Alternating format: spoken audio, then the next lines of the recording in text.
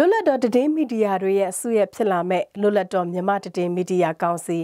IPCM ကိုဖွဲ့စည်းလိုက်ကြပါတယ်။ဒီအကြောင်းကိုတော့နူးနူးကတင်ဆက်ထားပါတယ်။မြန်မာတည်င်းမီဒီယာလွတ်လပ်ခွင့်မြင့်တင်ရေးတည်င်းသမားတွေရဲ့လုံခြုံရေးနဲ့အကာအကွယ်ရရှိရေးမီဒီယာကျင့်ဝတ်တွေကိုရေးဆွဲပြသပြီးလိုက်နာကျင့်သုံးရေးတည်င်းမီဒီယာကောင်စီရဲ့တည်ဝင်ရက်တည်ရေးဒေတာတွင်းနဲ့နိုင်ငံတကာတည်င်းမီဒီယာကောင်စီတွေနဲ့ တရေဝင်ချိတ်ဆက်ဆောင်ရွက်နေရတို့ကိုချင်းနေဆက်တနေရမှာပြုလုပ်တဲ့ညီလာခံကနေဆွေးနွေးဆုံးဖြတ်နိုင်ခဲ့ကြပါတယ်။အဲ့ဒီညီလာခံကနေပဲလွတ်လပ်သောမြန်မာသတင်းမီဒီယာကောင်စီကိုဖွဲ့စည်းလိုက်ကြတာဖြစ်ပါတယ်။ဂျာနဲ့ပတ်သက်ပြီးကောင်စီဥက္ကဋ္ဌနမ်ဖောကေကအခုလိုပြောပါတယ်။မြန်မာနိုင်ငံရဲ့သတင်းမီဒီယာလောကအတွက်ကတော့ဒီသတင်း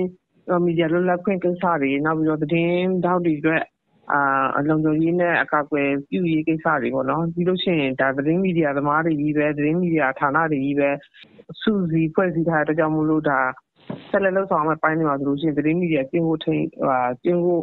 အာကိုဒီဇိုင်းလိုက်နာမှုအပိုင်းတွေနဲ့ နောက်ပြီးတော့ နိုင်ငံတကာမီဒီယာနဲ့ ထိုးဖောက်မှုအပိုင်းလေးတွေအတွက်ကို ပို့ပြီးတော့ ဆုရတစ်ခုအနေနဲ့တော့ ဖြစ်သွားတာပေါ့နော် လွတ်လပ်သောမြန်မာသတင်းမီဒီယာကောင်စီကလွတ်လပ်သောသတင်းမီဒီယာတွေတိုင်းရင်းသားမီဒီယာတွေဒေတာအခြေပြုမီဒီယာတွေကိုဒီမိုကရေစီနီလန်ကျဖွဲ့စည်းခဲ့တဲ့အတွက်တရေဝင်သတင်းမီဒီယာကောင်စီဖြစ်ကြောင်းသဘောတူခဲ့ကြတယ်လို့ထုတ်ပြန်ထားပါတယ်။ဂျာပီစစ်ကောင်စီဘက်ကတရေဝင်တတ်မှတ်ထားတဲ့စစ်ကောင်စီလက်အောက်ခံမီဒီယာကောင်စီကမီဒီယာလွတ်လပ်မှုမရှိသလိုသတင်းသမားတွေကိုအကာအကွယ်မပေးနိုင်တဲ့အတွက်လွတ်လပ်တဲ့သတင်းမီဒီယာတွေကိုကူစားမပြုဘူးလို့လည်းနမ်ဖော့ကေကဆက်ပြောပါတယ်။စစ်ကောင်စီလက်အောက်က သတင်းမီဒီယာကောင်စီကတော့ဒီသတင်းသမားတွေအတွက်ကို ဘာမှ အကာအကွယ်မပေးနိုင်ဘူး။အန္တရာယ်ပြုတာတွေလည်း အများကြီးခံရတယ်နော်။အာဏာသိမ်းပြီးနောက်ပိုင်းကတည်းက ဖမ်းဆီးတရားစွဲဆို ထောင်ချ သတ်ဖြတ်အချင်းချောက်ခံရတဲ့ ဒီအန္တရာယ်တွေကို ဘာတစ်ခုမှ အကာအကွယ်ပေးနိုင်တဲ့ မီဒီယာကောင်စီမဟုတ်ဘူးဆိုတဲ့အခါကျတော့ ဒါက လွတ်လပ်တဲ့သတင်းမီဒီယာတွေအတွက် အကာအကွယ်ပေးနိုင်တဲ့ ကိုစားပြုပေးနိုင်တဲ့